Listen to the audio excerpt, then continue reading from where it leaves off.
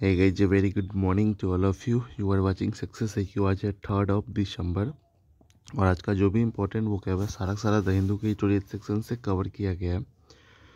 चलिए शुरू करते एक पॉजिटिव कोट के साथ जिसमें ये बताया गया ना तीन बेहतरीन सलाह है ठीक है? सोचो मत शुरुआत कर दो। वादा मत करो साबित करो। और बताओ मत करके दिखाओ है ना? ये चीज़ हमेशा आपको अपने जीवन में ना उतार करके रखना है है ना? बहुत ही ज़्यादा फ़ायदा मिलने वाला है इससे। चलिए शुरू करते हैं। सबसे पहला जो वो कैब है ना स्ट्राइकिंग डाउन जो कि एक फ्रेजल वर्ब है, जिसका मतलब होता है टू डिक्लेयर इलीगल और अनफोर्सेबल जो रहता है ना, उसको मतलब एकदम डिक्लेयर कर देना, घोषित कर देना एकदम। उसी को स्ट्राइकिंग डाउन कहा जाता है। इन ड्यू कोर्स एक फ्रेज है, जिसका मतलब होता है एट द अप्रोप्रिएट टाइम जो उचित समय होता है ना टू द पॉइंट एकदम। उसी को in the due in due course कहा जाता है।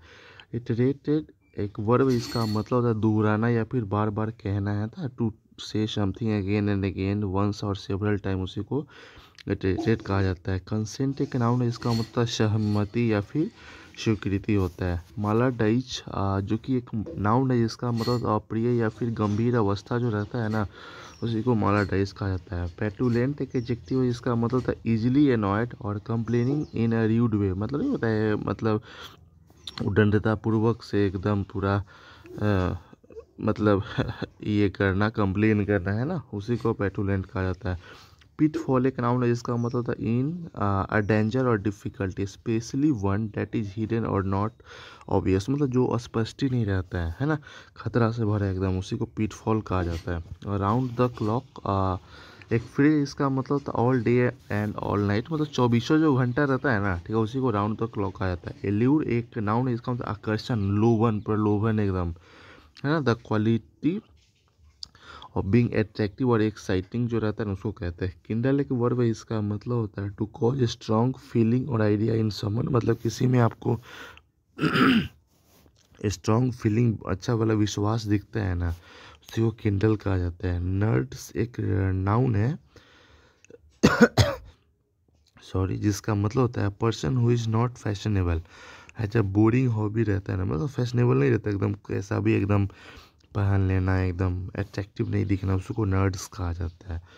और नेक्स्ट है, यहाँ पे ट्रमवीरेट एक नाउन है, जिसका मतलब है ग्रुप ऑफ़ थ्री पीपल मतलब तीन लोगों का जो ग्रुप रहता है ना who are control of an active और ये ना, तीनों एक किसी चीज़ के ऑर्गेनाइजेशन के अंदर में होता है उसी को कहा जाता है। कोवर्टेड एक एडजेक्टिव है जिसका मतलब होता है स्ट्रांगली डिजायर्ड बाय मैनी मतलब आ, बहुत ज़ोर तरीके से एकदम है ना? किसी के द्वारा एकदम बहुत सारे तरह के द्वारा मतलब इच्छित किया जाता है है ना? उसी को कोवर्टेड कहा जाता है। स्वैनसॉन्ग एक नाउन इसका मतलब है person last piece of work और अचीवमेंट होता है ना? कोई आदमी इसका जो अंतिम जो अचीवमेंट रहता है परफॉर्मेंस रहता है वर्क रहता है ना? ठीक है, अंतिम समय का, उसी को स्वैनसॉन्ग कहा जाता है। Turn over a new leaf एक फ्रिज है, इसका मतलब होता है टू स्टार्ट टू एक्ट और बिहेव इन अ बेटर और मोर रिस्पॉन्सिबल वे में शुरू करना हो तो उसी को turn over a new leaf कहा जाता है। एपोक्लिप्स एक नाउन है जिसका मतलब होता है very serious event resulting in a great distance मतलब एक ऐसा इवेंट हो जाता है ना, बहुत ही खराब वाला, जिसका परिणाम रिज़ल्ट भी बहुत ही ज़्यादा उतना ही खतरनाक रहता है, उसी को कहा जाता है। नेक्स्ट है यहाँ पे कॉकटेल एक नाउन इसका मतलब मिश्रित पेय जो ड्रिंक वगैरह होता है ना, drink made for mixture of alcoholic drink, एकदम बहुत अलग अलग तरह से सबको मिक्स करके बनाया जाता है उसको कॉकटेल कहा जाता है। डिक्टेटरशिप एक नाउन है, जिसका मतलब तानाशाही एकदम।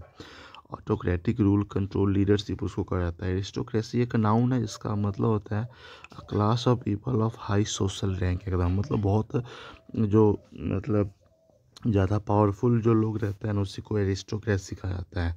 एम्बिशियस एक एजेक्टिव इसका मतलब महत्वाकांक्षी मतलब having a strong desire to be successful और द पावर एकदम जो उच्चाकांक्षी, महत्वाकांक्षी, ठीक है, उसी को एम्बिशियस कहा जाता है। तो गाइस यही आज का सेशन कैसा लगा आप लोग कमेंट में लिख के ज़रूर बताएँ।